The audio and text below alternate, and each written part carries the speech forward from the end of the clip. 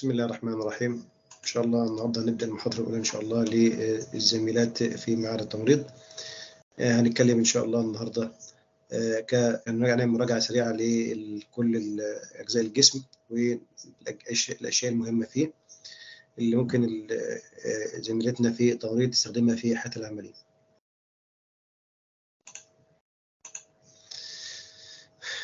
معكم الدكتور فوزي محمود أبو بداله مدرس علم التشريح بكلية الطب بكلية الطب جامعه الأزهر دمياط دكتوراه من علم علم التشريح والأجنة من كلية الطب جامعه المنصورة.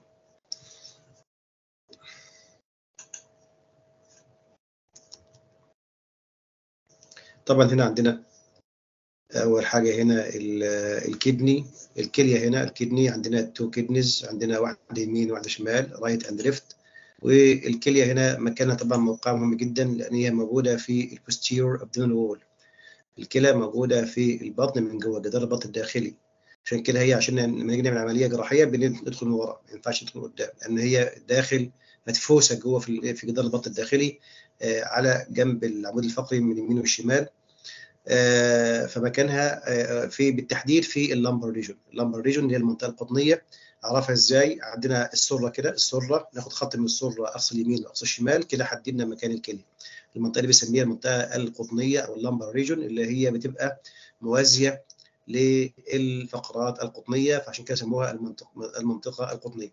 ده مكان الكلى. موجود ال location بتاعها فين؟ في ال posterior abdominal wall in the lumbar region. طبعا ال two kidneys ويطلع منهم حالبين two ureter والحالبين بيصبوا في المثانه البولية اللي إحنا بنسميها urinary bladder. وبعد ما يتجمع البول هنا بيطلع مع في عملية تبول خارج الجسم عن طريق ال urethra.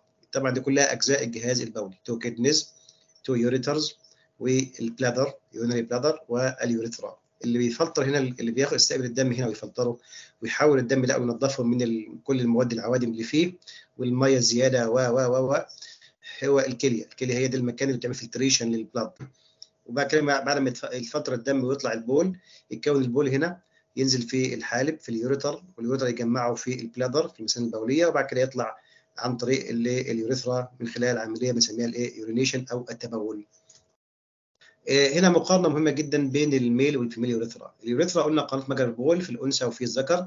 في هنا مقارنة مهمة جدا جدا جدا طبعا بين الاثنين لأن دي مقارنة تشريحية ومقارنة وظيفية. وبعد كده بتفسر معانا كمان بعض الأمراض اللي ممكن تحصل في الجانبين. أول حاجة هنا ال length الطول في ال male 20 سم إنما طولها في ال female 4 سم فقط. يبقى شورت كمان القطر الداخلي قطرها ال diameter قطرها قطرها بيكون narrow في ال male يعني ضيق وفي ال female في الأنثى بيكون واسع wide اجزائها في ال male بتبقى ثلاث أجزاء 3 part جزء موجود في محاضره البروستات في جزء بعد كده بعد البروستاتا 1 سم ونص تقريبا بنسميه membranous أو غشائي وبعد كده الجزء اللي ماشي في القضيب بيسموه penile أو spongy part وده أطول جزء فيها يبقى حوالي 16 سم إنما في ال female هو جزء واحد بس مالهاش أجزاء ولا حاجة. الوظيفة في ال male طبعا الوظيفة بتفرق. الوظيفة هنا في ال male بتكون إن هي convey urine and ال semen بيعدي فيها البول والحيات المنوية إنما أو السائل المنوي إنما في ال female فقط ما فيش طبعا حيات منوية عندها ولا سائل منوي. فقط وظيفتها في ال female إن هي بتعمل convey لل urine فقط. يعني بتنقل البول من ال bladder لخارج الجسم. طيب هنا بقى سؤال مهم جدا. ال liability for infection يعني مين فيهم اللي يكون حدوث نسبة العدوى فيه؟ يعني يحصل cystitis أو التهاب في المثانة أو التهاب في ال urethra مين فيهم بيكون معدله اعلى في الالتهابات؟ حدوث الالتهاب. هنلاقي ال female أعلى. السبب؟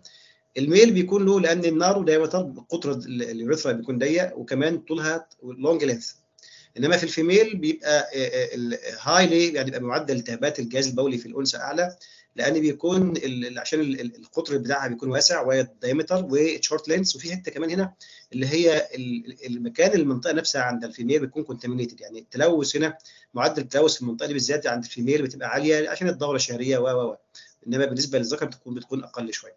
طيب. طيب هنا بقى سؤال average length of male urethra طبعا قلنا الوقت من شوية طولها في الذكر كام؟ 20 سم وطولها في الأنثى كام؟ 4 سم طيب ال function of the ureter الحالب ده هو الحالب ده له وظيفة هنا اللي هو بيعمل إيه؟ بيعمل convey بينقل ال urine البول من ال kidney بعد ما يتكون يوديه لل bladder طب بنقله إزاي؟ بنقله عن طريق ال peristaltic contraction يعني بيعمل حركة دودية كده بيعصر يتعصر كده وينقبض وينبسط وينزل يسحب البول من فوق لتحت. عشان كده يسموه الحالب كده بنحلب البول ده. وكمان برضه بتساعد الجاذبية بس بنسبة أقل شوية. يعني الجاذبية الأرضية بتشد البول برضه تحت. تمام؟ طيب. آه تعال بقى نشوف أجزاء الحالب. numerate numerate 3 parts of the أجزاء الحالب الحالب له جزء نصه موجود في البطن ونصه موجود في الحوض pelvic part وفي منه جزء صغير خالص حوالي 3 سم ماشيين في جدار المثانه البولية بيسموه intramural part يبقى abdominal part pelvic part و intramural اللي هو الجزء اللي ماشي في جدار المثانة البولية. طبعا ده اجزاء ده الجهاز التناسلي للذكر هو. عندنا الجهاز الرئيسي هنا أو العضو الرئيسي اللي هو ال testis اللي هو بينتج ال sperm وبعد كده عندنا وراه ال epididymis اللي هو الخزان اللي بيتخزن فيه ال sperm لحين نضجه حوالي أسبوعين وبعد كده بينقله بعد كده لل vas deferens اللي هو قناة تنقل المني أو الحيات المنوية ال vas deferens وبعد كده بتصبها تاخدها بعد كده تصبها في ال urethra. ومن هتروح لخارج الجسم. طيب إيه تاني في الجهاز البولي هنا؟ الجهاز التناسلي هنا؟ هنلاقي هنا عندنا ثلاث غدد غدة ورا المثانة اسمها seminal vesicles واللي بتفرز 60 ل 70% من السائل المنوي. تحت المثانة البروستات تفرز 20 ل 30% من السائل المنوي. وغدة صغيرة خالص تحت المثانة تحت المثانة تحت البروستاتا اسمها ال Cowper's glands الغده الثاني ال seminal vesicles prostate and Cowper's glands واللي بتفرز من 5 ل 10% من السائل المنوي. بقية الأجزاء الأجزاء بقى الخارجية اللي هي القضيب ال penis والكيس اللي جواه الخصيه اللي هو اسمه scrotum ده الجهاز التناسلي للذكر. طيب يبقى اذا ال primary organs هنا العضو الرئيسي هنا في الذكر اللي هو بينتج ال sperm أو اللي هو ال testis يبقى العضو الرئيسي هنا يعني من غيره هنا الشخص ده مش هيخلف هيبقى هيبقى عقيم. ده العضو الرئيسي اللي هو بينتج المصنع الوحيد اللي بينتج ال sperm اسمه اللي هو ال testis أو الخصيه طيب الخصية موجودة هنا بره الجسم أو بره الجسم مش جوه الجسم بخلاف المبيض. ليه؟ لأن الخصيه هنا وجودها بره الجسم بيخفض الحرارة من 2 ل 4 درجات. إنما لو جوه الجسم بتبقى الحرارة عالية عليها وممكن تموت خلايا الخصيه وما تنتجش sperm والخصية تتلف هنا طيب ال function of the epididymis قلنا ال epididymis اللي هو البربخ ده اللي هو الأنبوبة اللي إحنا لو فردناها تدينا 7 متر. هي أنبوبة عاملة حرف ال C shape كده ورا الإيه نايمة على الخصية ال testis من جوه في جوه ال scrotum دي وظيفتها قلنا إيه بتعمل أول حاجة تعمل store لل sperm يخزن جوه السبيرم يخزن جوه السبيرم بعد ما أنتج في الخصية. خلي بالكم هي بتخزنه بتنتجه بتخزنه بس. ليه بتخزنه؟ عشان يحصل maturation يعني نضج ال sperm بيكون لسه ناقص النمو. فبينمو هنا بيكمل نمو هنا بياخد حوالي أسبوعين. وبعد ما ينمو هنا يعني كده إيه يروح تنقله توديه فين؟ في ال vas deferens transfer the sperm. ده بالنسبة لوظيفة ال epididymis طيب ال average length ال vas deferens ده دي عبارة عن أنبوبة عضلية طولها حوالي 45 سم الرقم ده مهم. يبقى ال average range of the vas deferens حوالي 45 سم يعني نص متر ل 5 سم دي اللي بتنقل ال sperm بتنقله من ال epididymis وتوديه وتصبه فوق فوق وتحطه فين؟ في ال urethra بعد كده. طيب البروستاتا مكانها فين هنا؟ غدة بروستاتا غدة موجودة أسفل المثانه أهي below the neck of the bladder يعني تحت رقبة المثانه على طول ده مكان البروستاتا. ال birth canal إيه المقصود بكلمة ال birth canal ال birth canal is the function of vagina ال vagina اللي هي المهبل في الأنثى اللي بيسموها ال birth canal لأن بيعدي فيها ال baby أثناء الولادة. طبعا لها كم وظيفة ثانية كمان يعني ممكن لها وظيفة إن هي بتستقبل القضيب أثناء ال intercourse أثناء الجماع وكمان بيعدي فيها دم الدورة اللي نازل من فوق لتحت. طيب أجزاء ال part of the uterus ال uterus الرحم أجزاؤه. أجزاء الرحم نرجع تاني هنا. أجزاء الرحم fundus body cervix يعني له قبة وجسم وعنق الرحم اللي هو عامل زي الدرع المقلوب. طيب ال function of the uterine fallopian tube أو fallopian tube قناة فالوب لها وظيفتين أو أكثر حتى من وظيفتين. بس إحنا نقول بس وظيفتين هنا اللي هم بتعمل إيه؟ بتنقل ال sperm من تاخده تستقبله من ال uterus وتوديه لناحية ال ovum أو تستقبل ال ovum من ال ovary وتوديه ناحية الرحم أو إن بيعدي فيها كمان الإيه؟ الجنين بقى اللي هو ال embryo بعد ما اتكون بيعدي فيها. أو ده مكان كمان مكان حدوث التقاء ال sperm مع مع ال ovum ويعمل حاجة اسمها ال fertilization. طبعا هنا transfer sperm من ال ovum و transfer embryo كفايه دول تمام؟ embryo اللي هو الجنين بعد ما اتكون أو تعدي ال sperm أو يعدي فيها الإيه؟ ال ovum ال ovary المبيض هنا في الأنثى هو العضو الرئيسي في الأنثى اللي هو مسؤول عن عملية الحم عملية الحمل هنا. مسؤول عن عملية الحمل. ال ovary المبيض هنا وظيفته إيه؟ إنتاج ال ova إنتاج البويضه وكمان بينتج two hormones ال estrogen and progesterone ده في الأنثى. طيب ال testis قلنا من شوية في الذكر بتنتج مصنع إنتاج الحيوانات المنوية ال formation of sperm spermatozoa وكمان بتنتج هرمون التستوستيرون هرمون. دي وظيفة الخصية في الذكر ودي وظيفة المبيض في الأنثى. هنا بقى إحنا تقسيمة اللي هي الايه قلنا عندنا الثلاث غدد موجودين في الذكر من فوق لتحت ال seminal vesicles يعني تحتها البروستات وتحتها ال bulbourethral gland أو Cowper's glands. النسب دي اللي هي انتاج السائل المنوي نسبة انتاج السائل المنوي اللي بتنتجه ال vesicles من 60 ل 70% البروستاتا بتنتج من 20 ل 30% وال bulbourethral gland أو Cowper's glands تفرز من 5 ل 10% من ال seminal fluid ال pharynx اللي هو الزور أو البلعوم. البلعوم ده عبارة عن أنبوبة عضلية بتبدأ من فوق من عند قاعدة قاع الجمجمة هنا وبتنتهي عند الفقرة العنقيه رقم 6 ال pharynx ده قناة مشتركة يعني بيعدي فيها الهواء من الأنف وبيعدي منها الطعام والماء في الفم. فهي بنسميها common passageway أو أو أو قناة مشتركة بين الجهاز التنفسي والجهاز الهضمي.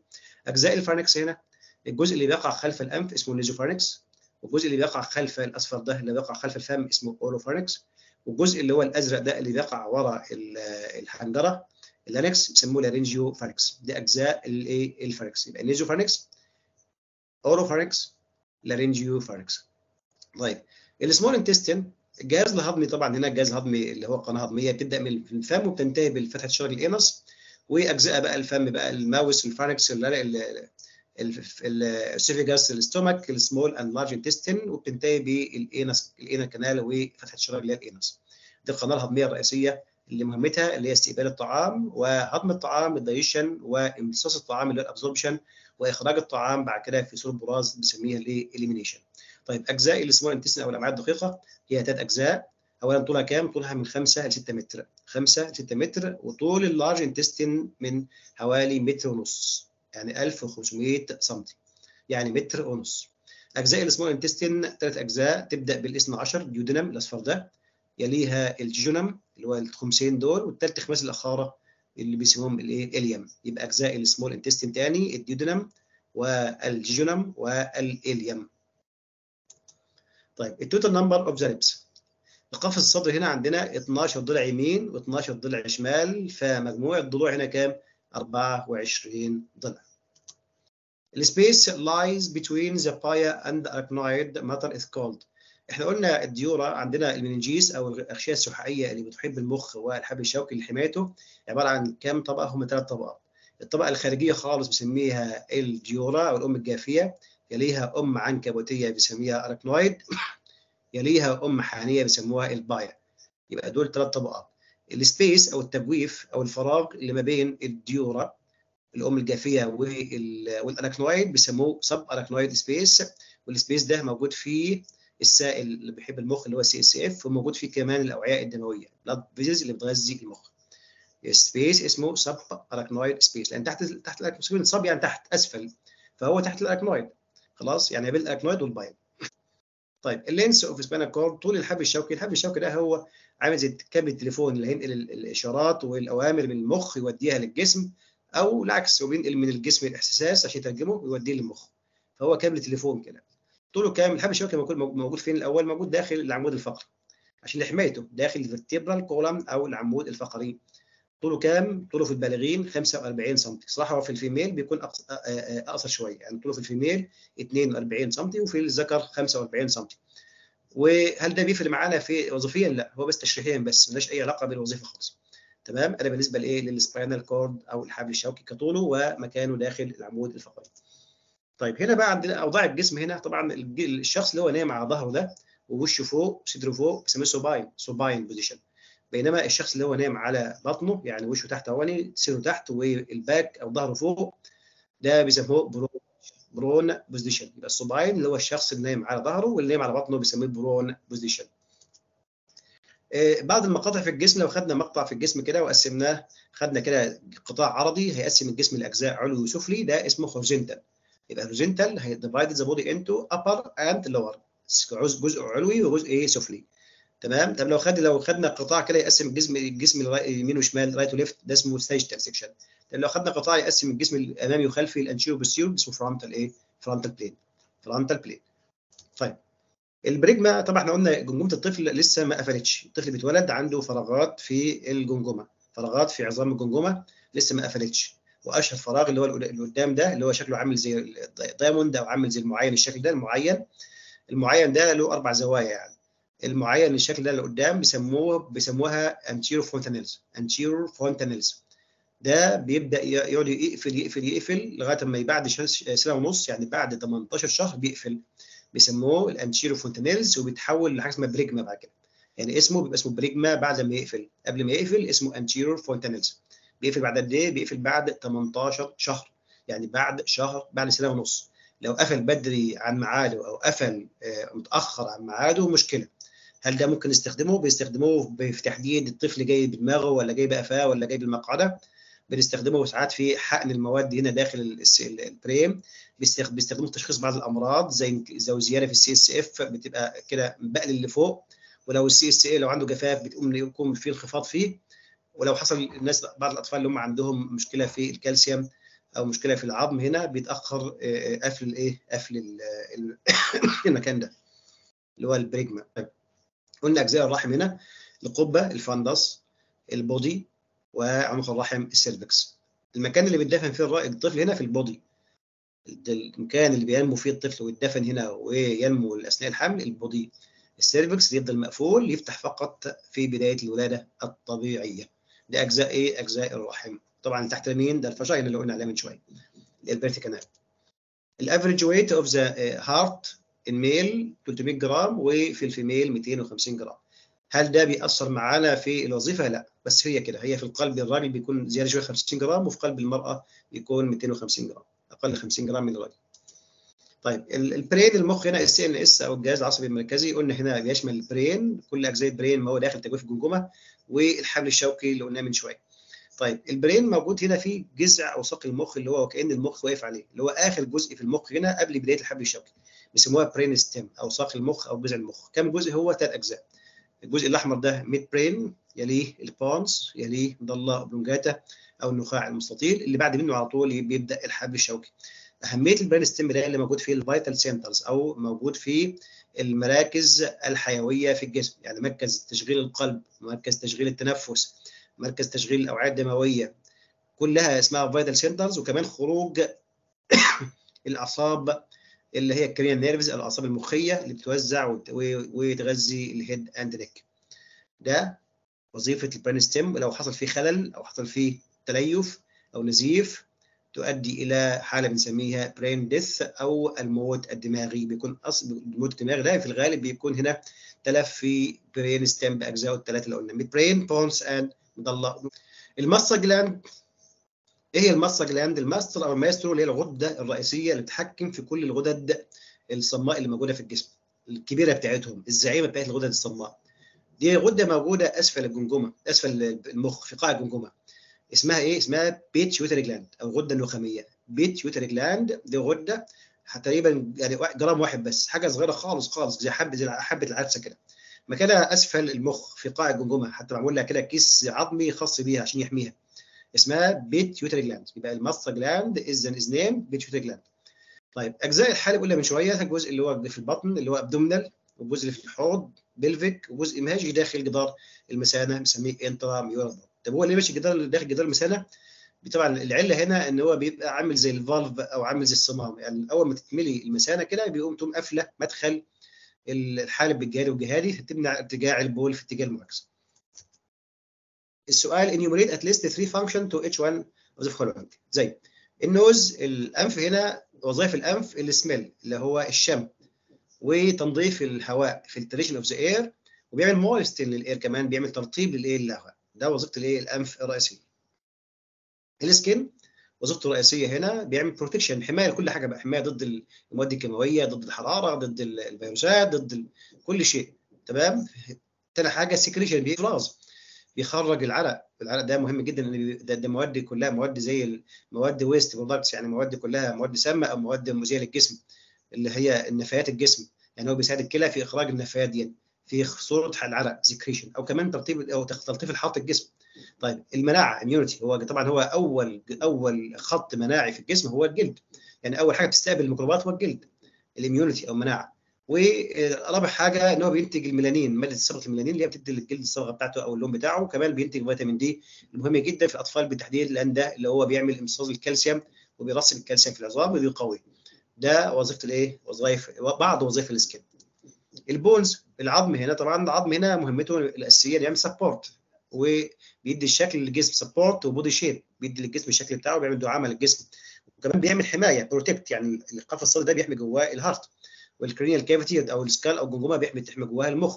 والحبل العمود الفقري قلنا من شوية بيحمي جواه الحبل الشوكي آه كمان الوظيفة الثالثه هنا إن هو بيخزن جواه الكالسيوم والفوسفورس. store the calcium and phosphorus يعني مصنع تخزين الكالسيوم والفوسفور هو ال bone. العظام طبعا في كذا حاجة بس دول كفاية. الطحال الطحال هنا ال spleen مكانه فين؟ مكانه في منطقة بنسميها ال left hypochondrium يعني ورا بيقع خلف المعدة في الجهة الشمال.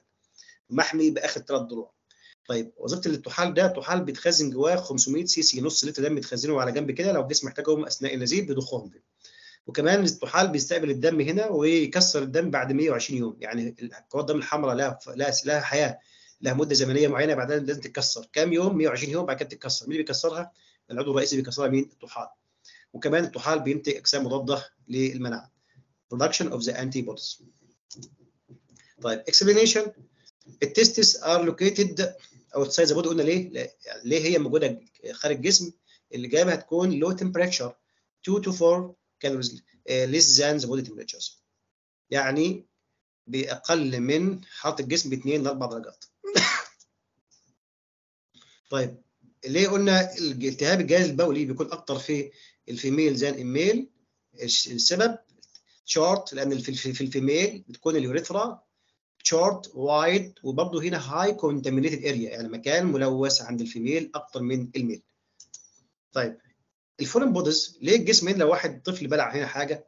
جسم غريب المكان بيت... الجسم ده بيتجه ناحية ال right bronchus ولا وما بيروحش ناحيه ال left bronchus يعني على طول كده إحنا من... بنعمل أشعة بالايه في ال right. هنيجي نخش نعمل نشيل بمنظار على ال right على طول. وإحنا وإحنا مغمضين كده.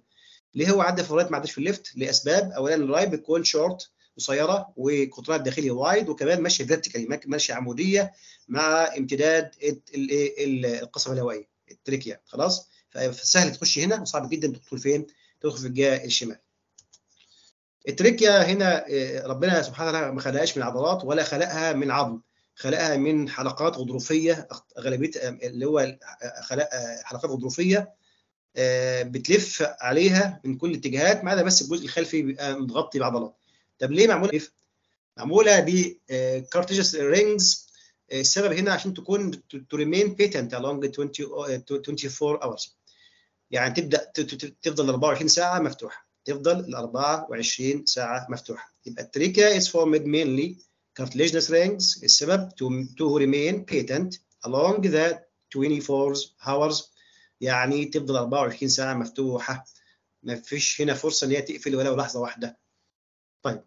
الفرق هنا المقارنة بين ال arteries وال veins. الشريان بيختلف عن الإيه؟ عن الوريد. الشريان carries the oxygenated blood نوع الدم اللي فيه دم مؤكسد بينما في ال veins الدم اللي فيه non oxygenated يعني دم محمل بثاني الكربون أو CO2 الشريان فيه pulse pulsating إنما الوريد doesn't pulsate مفيش فيه pulse طب ليه هنا pulse عشان القلب هنا بيدفع الدم هنا في صورة موجات تعمل النبض ده في الشريان. إنما ال vein مفيش حاجة بتضخ الدم فيه.